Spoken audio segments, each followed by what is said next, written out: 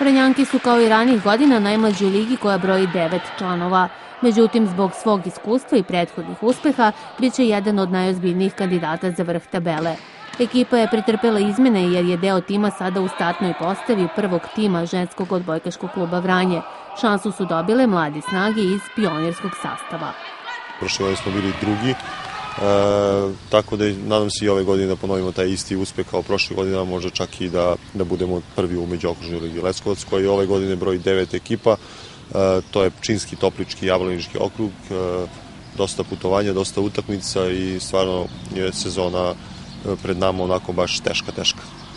Počelo je i pionirsko prvenstvo Srbije gde se pande takmiče nekoliko sezona vrlo uspešno. U prvom kolu savladana je Komšijska Morava sa 1-3, a u drugom im dolazi Vlasina iz Vlasotinca.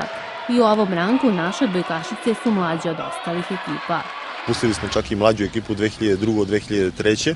To je ekipa koja je selektirana i tu je isto sa njima i mlad trener Marko sa tom ekipom radi. Uh, tu priključili smo i neke mlađe trenere malo da i oni dobiju šansu u tom takmičarskom pogonu. Pandice će za vikend učestvovati na međunarodnom turniru u Skoplju, gde će igrati sa ekipama iz Grčke, Makedonije i Srbije.